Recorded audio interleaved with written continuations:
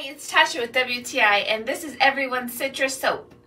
There are a lot of things I love about this soap. It's smooth and silky on my hands. It comes out clear when I apply it. It doesn't have any extra added coloring to it. It just is, feels natural and feels good.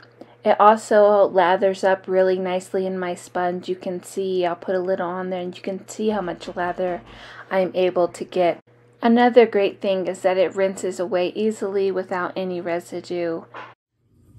And the citrus mint smell is very refreshing and relaxing. I also love that it can be used for me and my husband, and it also is great that it can be used as a hand wash or a body soap or also even shampoo.